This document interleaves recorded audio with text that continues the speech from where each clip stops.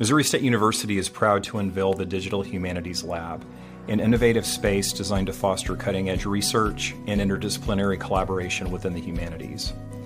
Located on the lower level of Meyer Library, this all new state of the art facility offers a dynamic environment where faculty and students can engage deeply with humanities research.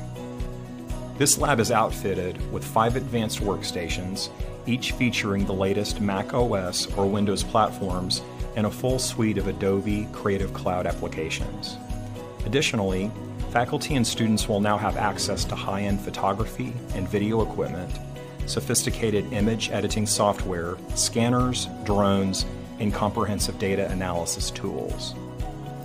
This facility not only elevates Missouri State University's profile, but also exemplifies how the humanities can profoundly shape our understanding of human experience, whether as individuals, family members, community leaders, or societal contributors.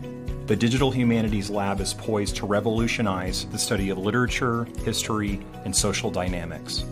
This initiative, a collaboration between the libraries and the Reynolds College, supports a wide spectrum of interdisciplinary research.